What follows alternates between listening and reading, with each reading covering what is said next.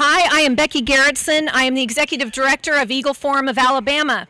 At the start of this, I want to direct you to go to alabamaeagle.org where this speech will be posted and the others as well. And also, if you go to our YouTube channel, you will be able to find this. I'm going to cite some research, and so you can use that later. My motto is be kind, speak truth, and maybe that should be the title of this speech. We must engage in this most important fight that we will ever have.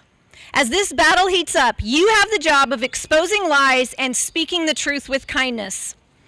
Always remember that those who have had abortions made their decision, some made their decision to abort on lies.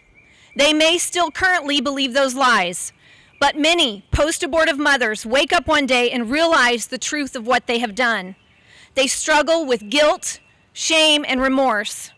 They need to be shown love and compassion and not judgment. Let's talk about some of these lies. it's not a life. The truth is, science is with us.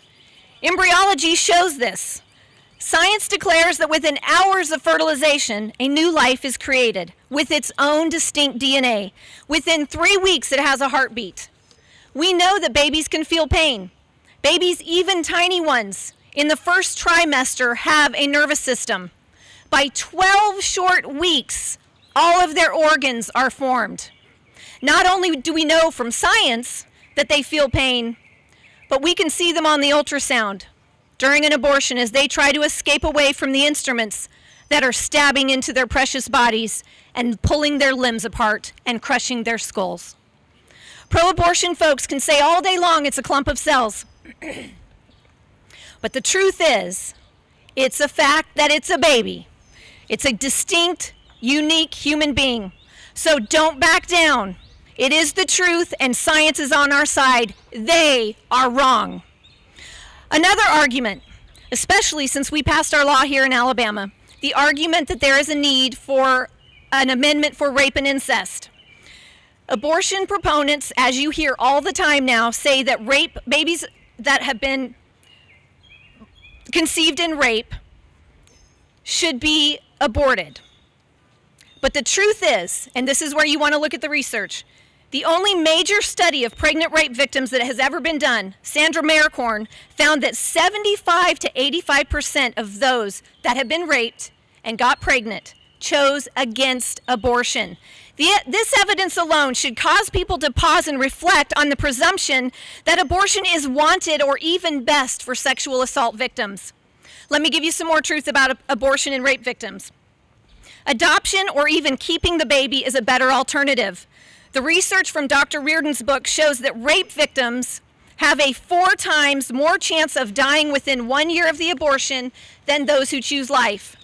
They also have a higher murder rate, suicide rate, drug overdose, depression, addiction, and more. Women's rights begin in the womb, and we support women. We should not subject rape victims to more violence. Both the mother and the child are helped by preserving life, not by perpetuating more violence. Uh, here's another thing you must realize abortion destroys the evidence of rape. Rapists love abortion. They can violate woman after woman, knowing that the evidence of their crime will be erased at an abortion clinic. Think of the human trafficker. They don't want their property to be pregnant. Stopping abortion in the case of rape hurts human trafficking, and that's a good thing. The enormity of the crime does not justify murder. If the punishment for the crime is going to be death, then let's kill the rapist and not the baby. It is shameful. It is shameful to exploit rape victims as an excuse of killing more children. So I encourage you to stand firm and speak the truth. I support life at all stages, no matter, no matter the circumstances. I am Becky Gerritson, and I am unapologetically pro life, and I am unapologetically Alabama. Be kind and speak truth.